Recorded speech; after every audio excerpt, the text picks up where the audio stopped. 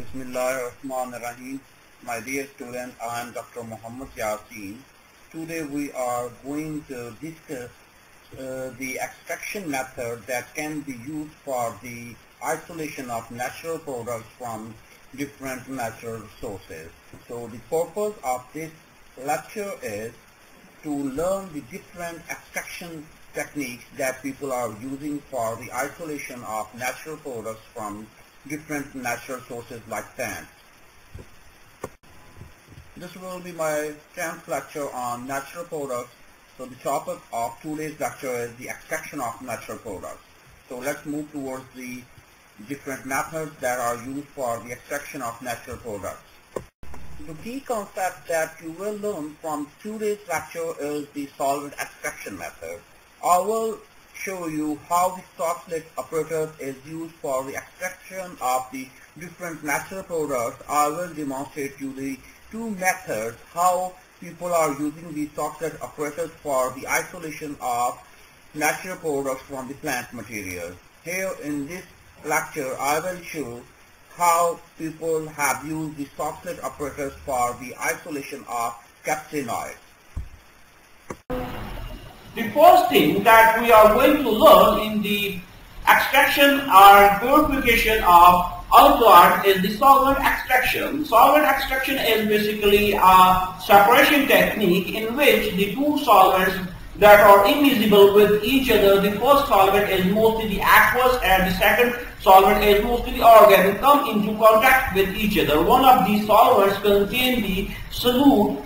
This solute is distributed that in uh, between the two immiscible phases, the distribution of the solute between the two uh, phases, the one is the aqueous and the other is the organic, is governed by the distribution or distribution law or the partition process.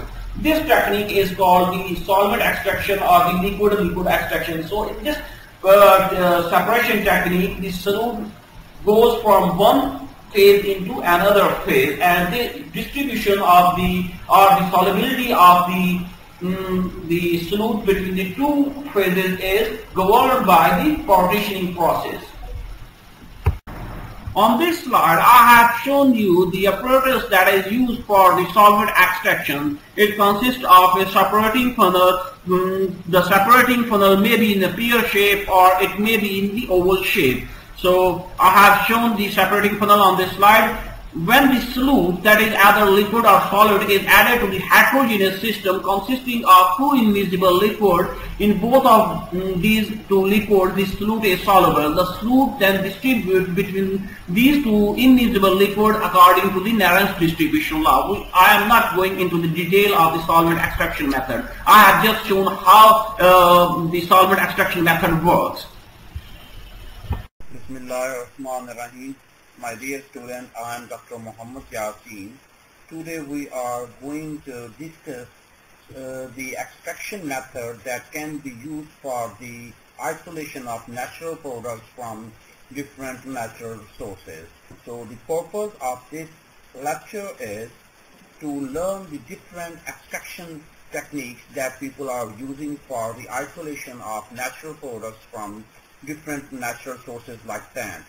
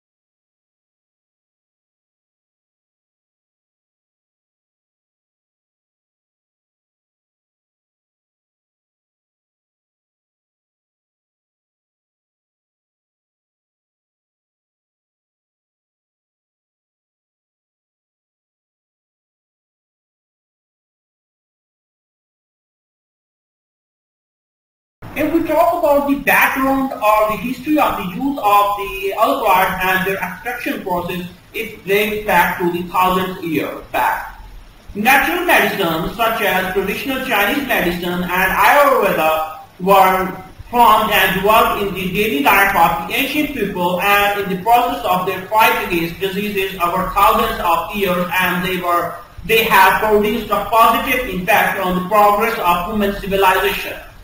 Today, natural medicine not only provides the primary health care needs for the majority of the population in developing countries but have attracted more and more uh, attention in the developed countries due to the soaring healthcare cost and universal financial austerity. In the United States of America, approximately 49% of the population has tried natural medicine for the prevention and treatment of diseases. Chemicals known to have medicinal benefits are considered to be active ingredients or active principles of natural medicine. Natural products have provided the primary source for new drug development. From the 1940s to the end of the 2014, nearly half of the Federal Drug Authority approved chemical drugs for the treatment of human diseases were derived from or inspired by natural products. Natural products offer more drug-like features to molecules in the in the terms of functional group, chirality and structure complexity. The amount of the active ingredients in natural medicines are always fairly low. The lab-intensive and time-consuming extraction and isolation process has been the bottleneck of the application of natural products in drug development. There is an urgent need to develop the effective and selective methods for the extraction and isolation of bioactive natural products. So that, that is why people have developed efficient extraction methods for the extraction or the isolation of biologically active compounds from the plant material. Here in this lecture we will study the general methods for the extraction and isolation of alkaloids from the plant material. Extraction is the first step to separate the desired natural product or the alkaloids from the raw material. Extraction methods include solvent extraction, distillation method, pressing and sublimation according to the extraction principle. Solvent extraction is the most widely used method. The extraction of the natural product from the alkali progresses through the four stages. In the first stage, the solvent penetrates into the solid matrix, that is the plant material, and in the second stage, the solute dissolves in the solvents, and in the third stage, the alkaloids are diffused out of the solid matrix that is the plant material and in the fourth stage the extracted solute or the alkaloids are collected. Any factor enhancing the diffusion and the solubility in the four steps or in the four stages will facilitate the extraction. The properties of the extracting, uh, the properties of the extracting solvent, the particle size, of the raw material, the solvent to solid contact surface area, the extraction temperature and the extraction duration will affect the extraction efficiency. The selection of the solvent is crucial for solvent extraction. Selectivity, solubility, cost and safety should be considered in the selection of the solvent. Based on the law of similarity and intermiscibility like dissolved like solvent with a polarity value near to the polarity of the solute or the alkaloids are likely to perform better and vice versa. Alcohols like methanol and ethanol are universal solvents in solvent extraction for phytochemical investigation. Generally, the finer the particle size is, the better results the extraction achieves. The extraction efficiency will be enhanced by the small particle size due to the enhanced penetration of the solvent and the diffusion of the alkaloids. Too fine particle size, however, will cause the excessive absorption of the solute in the solid and difficulty in subsequent filtration. High temperature increases the solubility and the diffusion. Temperature that too high, however, may cause the solvent to be lost leading to the extracts of undesirable impurities and decomposition of thermolabile components. The extraction efficiency increases with increase in the extraction duration in certain time range. Increasing time will not affect the extraction after the equilibrium of the solute is reached inside and outside the solid material. Here on this slide, I have shown you the Soxhlet extractor. The bottom of the Soxhlet apparatus is a round bottom flask that contains the solvent that is used for the solvent extraction purpose.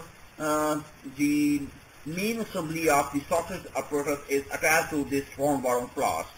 Mm, the heat source is used to vaporize the reservoir of the solvent. The vapors of the solvent rises above and uh, enters into the Soxhlet main assembly where it extracts the uh, where it extracts the uh, active ingredient and move back into the uh, reservoir and this uh, process continues again and again. So here I have shown you the diagrammatically how Soxhlet operators work.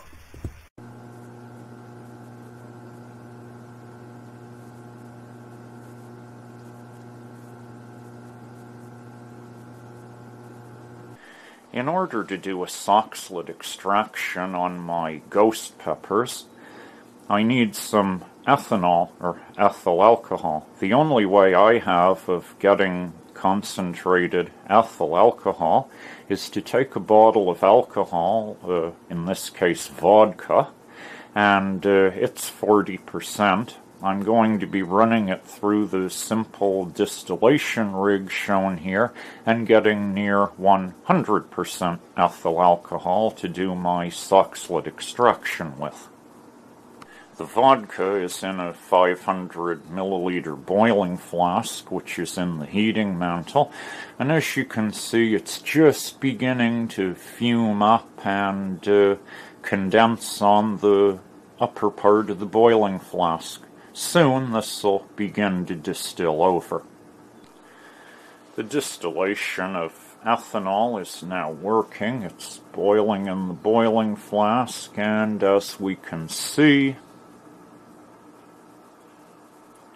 we're beginning to get ethanol in the collection beaker. I only need about 300 milliliters. When I get that much, I'll stop. These are the ghost peppers that I'll be using for this Soxhlet extraction video. Here's a quick look at the ghost peppers themselves.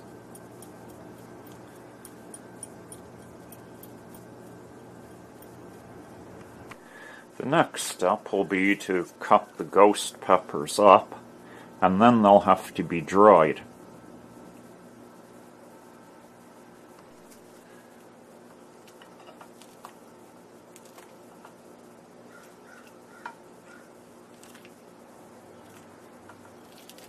It's a very good idea to wear gloves for this process.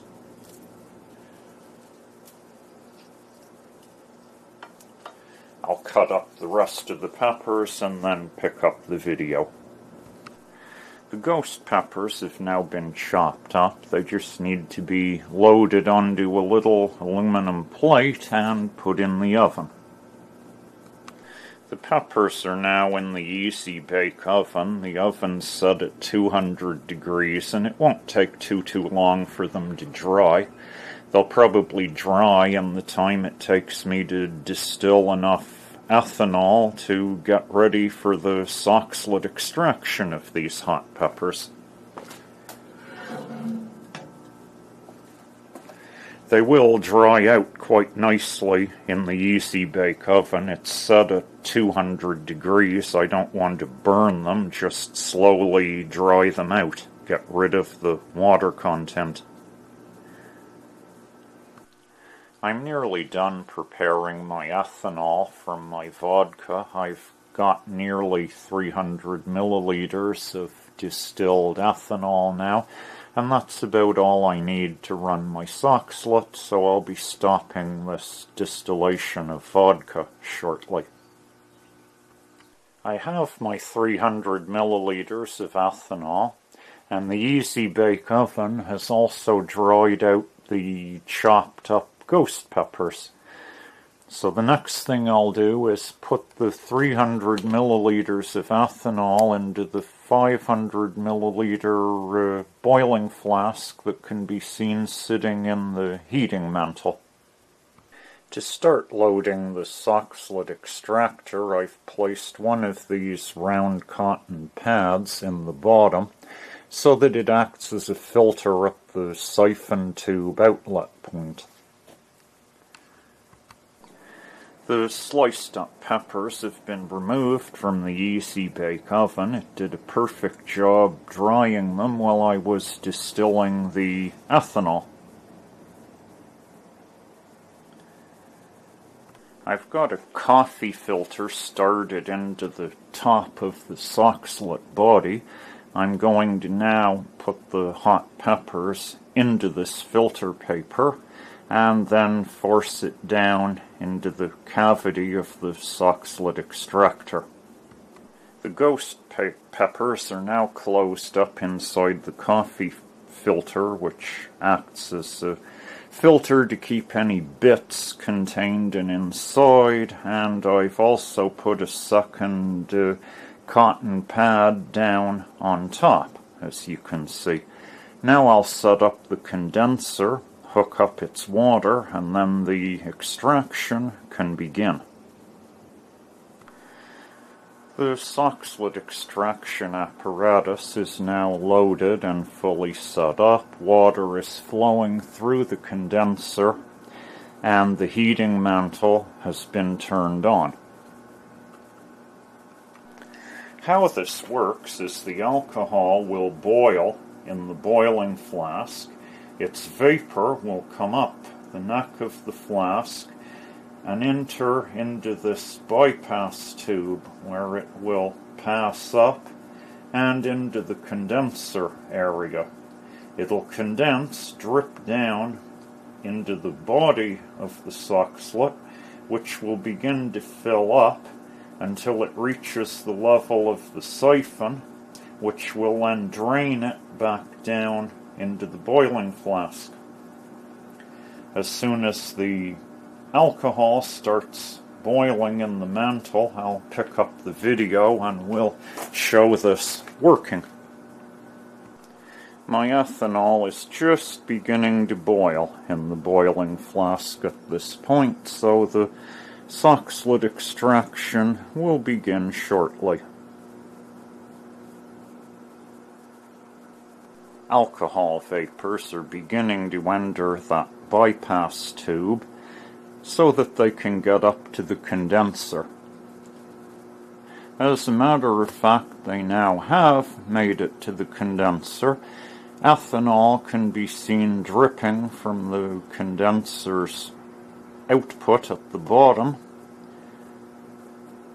It's now dripping down onto the filter pack containing the dried ghost peppers.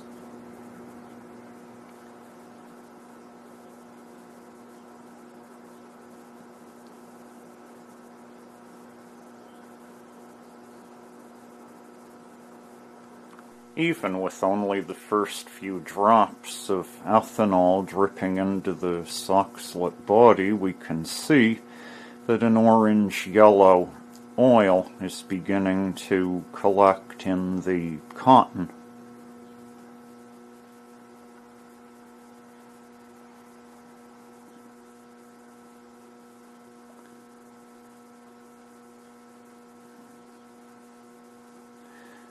The ethanol can be seen dripping onto the top piece of cotton.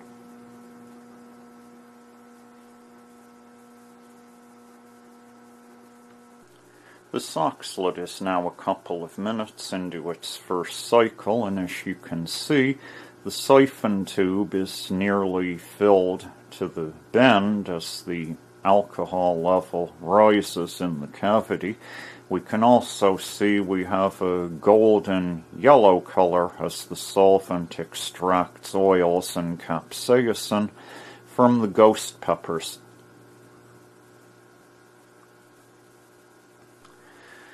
The first cycle is about to turn over and drain the chamber by the siphon. This will happen uh, very shortly. It's just about at the top bend and ready to cycle.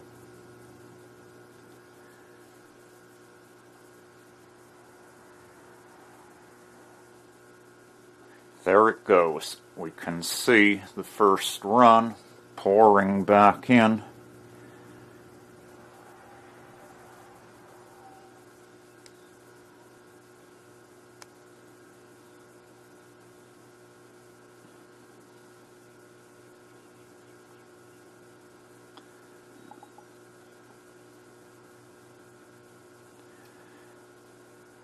That was the first cycle of the Soxhlet.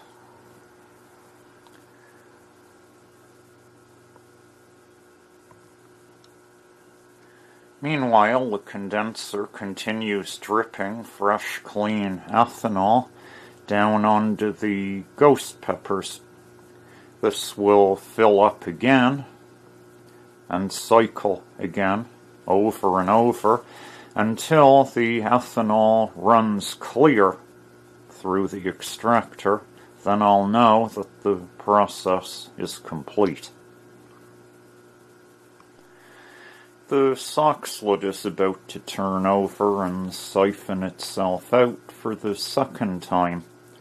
As we can see, we have quite a nice colour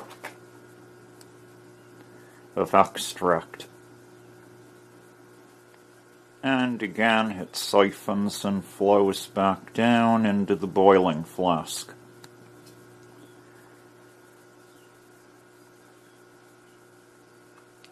There it's siphoned out.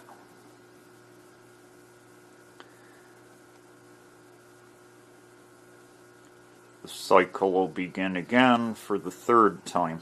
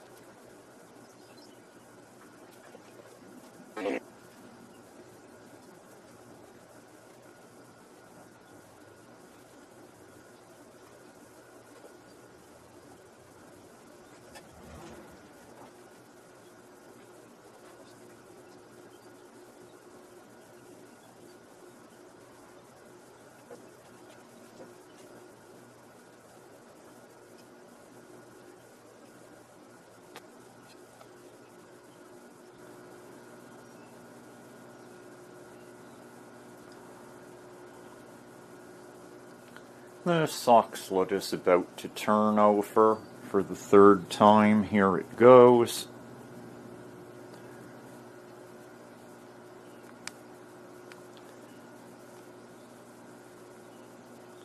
The extract has a nice orange yellow color and can easily be seen draining back down into the boiling flask.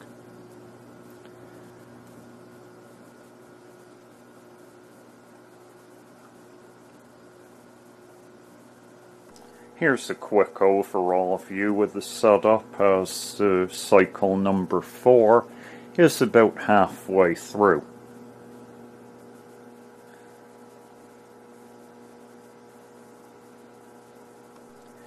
Each cycle takes approximately 7 minutes with this particular setup. About 12 cycles would be required at least to uh, extract all of the capsaicin and oils from the ghost peppers.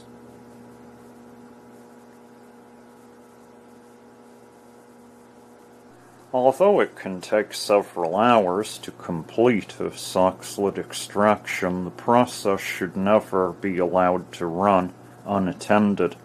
Always keep an eye on it all the way through. Cycle number four is just about ready to turn over and siphon out. We can see that the extract is still a deep orange yellow color and there goes the siphon. We can see the Soxhlet drain as the extract runs back down into the boiling flask.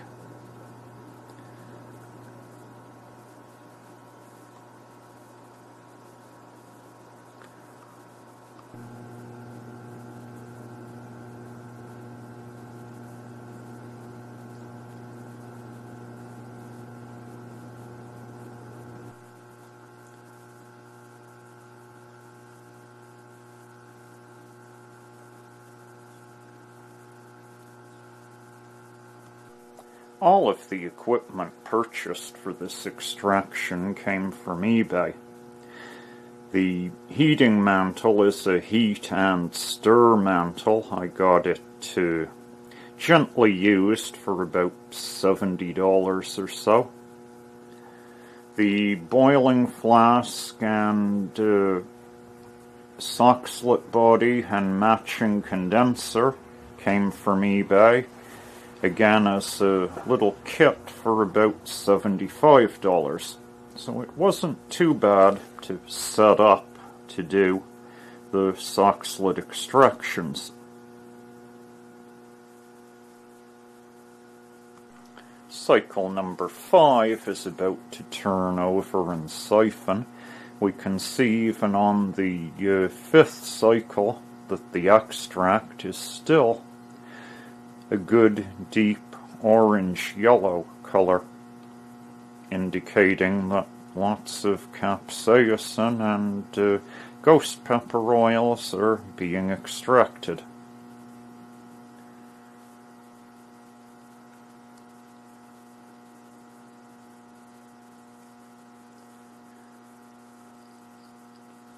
There we have completion of the fifth cycle of extraction.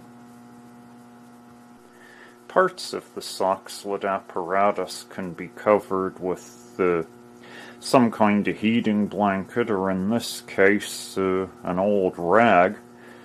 But uh, I'm not going to run the rag typically in this video because, of course, it completely blocks the view of what's going on. Cycle number 10 is about to turn over and siphon.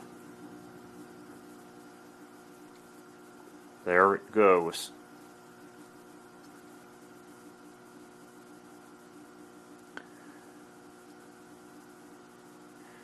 It's more of a straw yellow color now than the deep orange yellow it was on the first couple of cycles.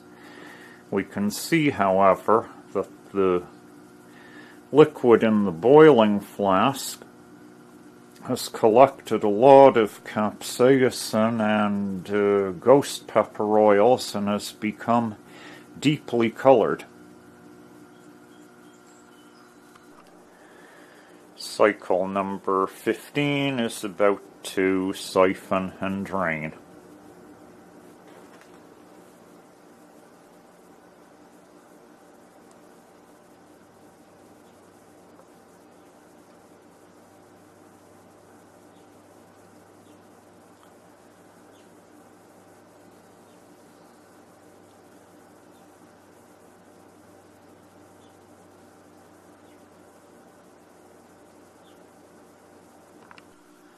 cycle number 18. It's starting to flow a lot clearer now, so I will probably stop the extraction at uh, around 20 cycles.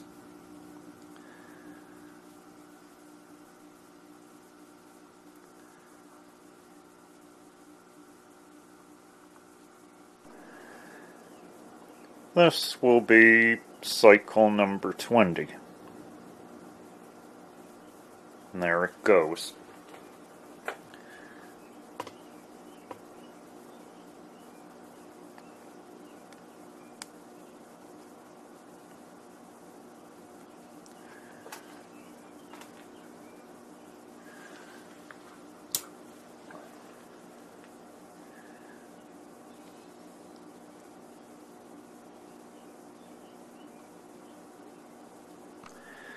At this point I've completed the Soxhlet extraction. Everything is now down in the 500 milliliter boiling flask that's in the heating mantle. I can now remove the Soxhlet and its condenser and I can boil the ethyl alcohol out of the 500 milliliter boiling flask and collect it with my condenser. So I will set up to do this. I'm still using the same 500 milliliter boiling flask that was used with the Soxhlet but I've now attached a still head and condenser setup to this boiling flask, and I will now remove at least 200 milliliters of the ethyl alcohol at this point. Once I've gotten the bulk of the solution down, I think I'll switch uh, either to just boiling it out of a beaker or I'll use a much smaller boiling flask. Haven't decided yet. We'll see a bit later in the video. This distillation is now in progress and we can see drips of ethanol dropping out into the 500 milliliter collection beaker on the right. I will allow this process to continue until I've extracted about 200 milliliters of the ethanol.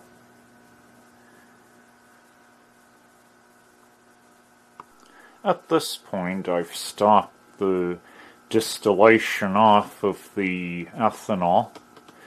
I have recovered about 225 milliliters of ethanol. There's still a little left in the boiling flask, along with the, the ghost pepper oil and capsaicin.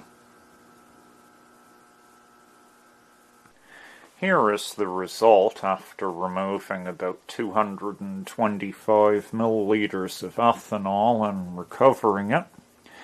This is the 500 milliliter boiling flask that saw me through the whole procedure, and there's about 50 milliliters of ethanol, capsaicin, and uh, ghost pepper oil in the bottom of the boiling flask. Of course, also in there are the copper-plated steel 177 BBs that I used as my boiling chips to help things boil without going crazy suddenly, which alcohols like to do. Here's the current result of the extraction, about 55 milliliters of capsaicin, ghost pepper oils, and ethyl alcohol. I'm going to uh, evaporate a bunch more of the ethyl alcohol off, leaving me with the super hot ghost pepper oil. The 80 milliliter beaker has been set in my heating mantle with a little uh, rock wool insulation around to trap heat from escaping. I will use this to remove most of the remaining ethanol solvent.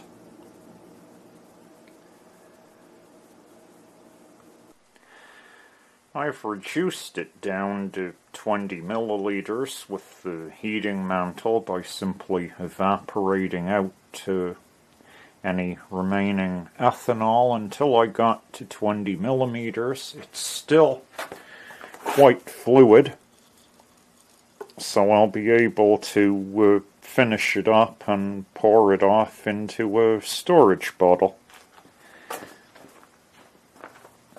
Thanks for watching, and that was the Soxhlet extraction of capsaicin and oils from ghost peppers.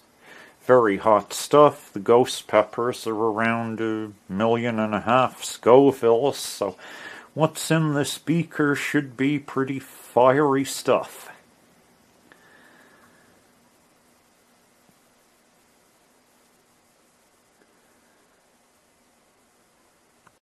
Here is a summary of the today's lecture. We have learned the different extraction methodologies that can be used for the extraction of alkaloids and other natural products from the plant's material.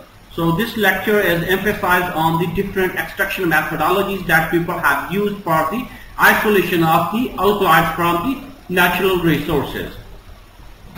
At the end of this lecture, here is a list of recommended books. You may consult any one of these books. Thank you very much.